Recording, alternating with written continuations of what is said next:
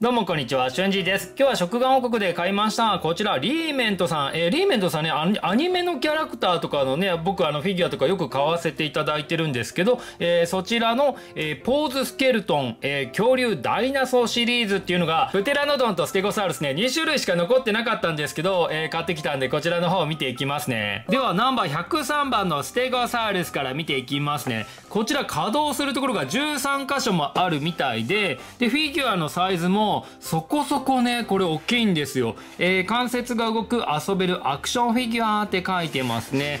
で、くるっと回すと横にはラインナップが書いてますね。えー、ティラノサウルスに、えー、トリケラトップス、ブラキオサウルスに、で、くるっと回して反対側、えー、プテラノドンにアンキロサウルス、パキケファロサウルスとなってますね。いやー、なんか他の恐竜も欲しかったなあのトリケラトップスとかね、この辺すごい可愛い形してますよ、頭の。おっきなティラノサウルスの頭もどんな感じかちょっと見てみたかったですね。で、くるっと回して後ろ。後ろには、え、V 名が書いている。顎、首、前足、後ろ足、あ、股関節に尻尾に、えー、尻尾、尻尾って書いてる。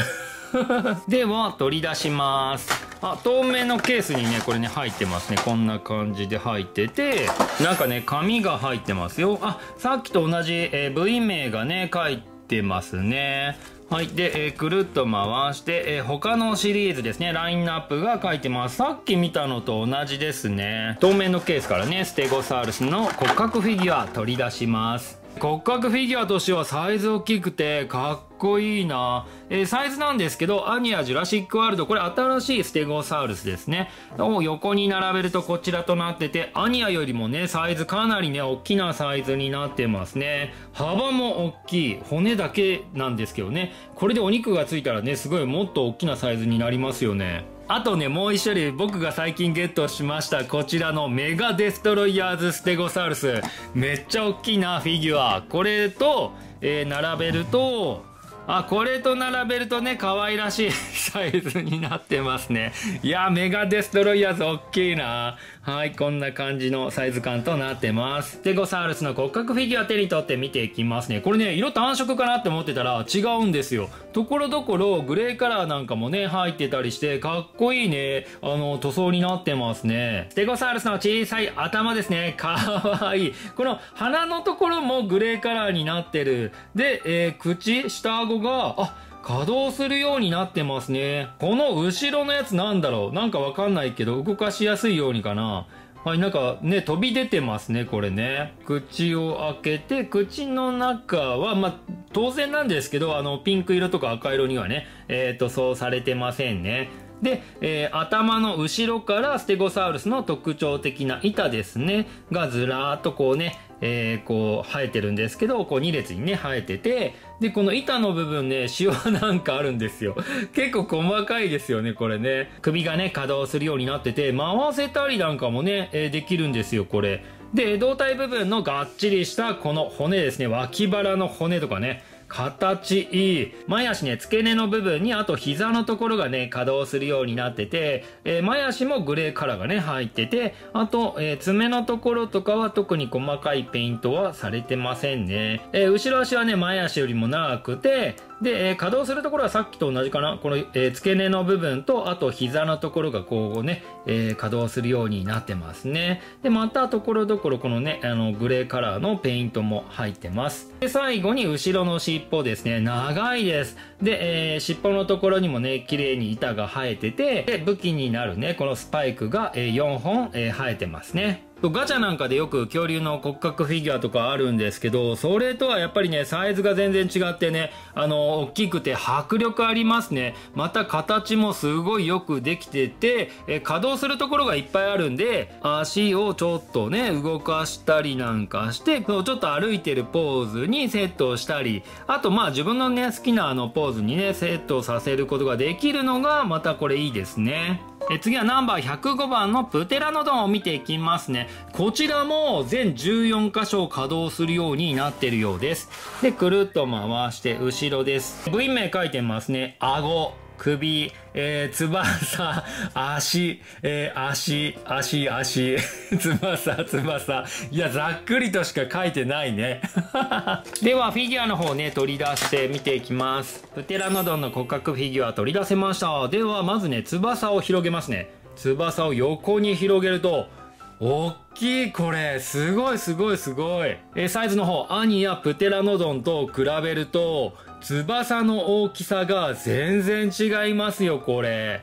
いやこれでこうお肉がついてたらすごいかっこいいと思う。このサイズのプテラノドンね。フィギュアの色はさっきのステゴサウルスと同じで、ところどころね、グレーカラーが入ってますね。プテラノドンの特徴的な頭の形、めちゃめちゃ迫力ある。サイズ大きいですからね、長いです。で、後ろにぐっと伸びてて、で、ここが目かな？目があって、で、えー、顎、えー、口がね、くちばしがこう開閉するようになってますね。かなり開けれますね。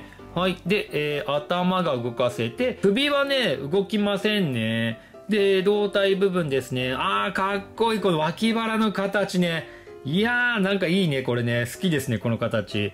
で、えー、長い翼。本当にね、長いんですよ、これ。で、えー、稼働するところ、付け根のところが動いて、あと、えー、どこだろう、こう真ん中かなで、前足あたりのところがね、稼働して、で、そのちょっと横ぐらいも稼働するようになってますね。こう、翼をね、広げた形もね、すごいかっこいいんですけど、こんな感じでね、閉じることもね、できますから、こんな感じでね。あ、このポーズいいじゃないですか。結構、かっこいい。今ピンと伸びてる後ろ足なんですけど、ここもね、あの結構いろんなとこ動かせて、え付け根に膝ですね。あと足首もね、これは稼働するようになってるんで、ちょっと曲げて、立ちそうだ。あ立たせることもできるようになってるいいね、これ。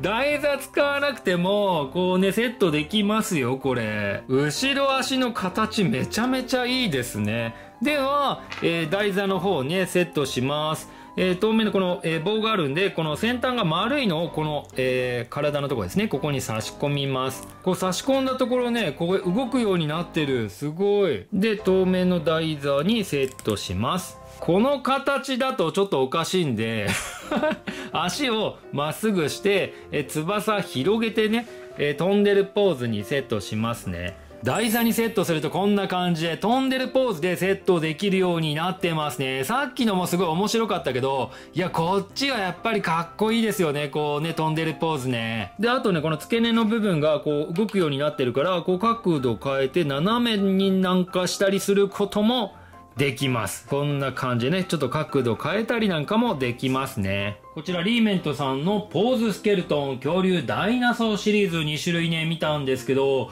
いやこんな商品ね僕ねおもちゃ屋さんとかで並んでるの見たことない。どこに置いてるんだろう。たまたまね食玩王国に何だったかな。骨骨ザウルスかな。を取りに行った時に見つけて買ってったんですけど、ラインナップに入ってた、えー、残り5種類ね、欲しかったないや、サイズ大きくて本当にね、作り良かったですよ。そう、どのフィギュアも稼働するところが、えー、いっぱいあるみたいなんで、こう自分の好きなね、ポーズにセットをして飾れるっていうのがいいですね。骨格フィギュアなんで、こう手に取って遊ぶっていうかね、こう飾る用ですよね。他のラインナップもね、稼働するところがいっぱいあるみたいなんで、こう自分の好きなポーズにね、セットをして飾ったらかっこいいですよね。リーメントさんの恐竜商品って僕あんまりご紹介介してない気ががするななんか他にもあったりするのかなそうまた何かね見つけたら、えー、ご紹介したいと思いますはい、ということで、えー、今回はこの辺でよろしかったらコメント、評価、グッドボタンの方よろしくお願いします。あとチャンネル登録ボタン横にありますベルマークのチェックの方もよろしくお願いします。